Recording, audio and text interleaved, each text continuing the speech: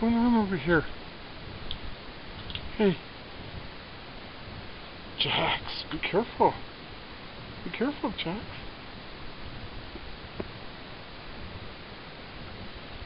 Jax, there's raccoons sleeping right above you. Right here. Oops.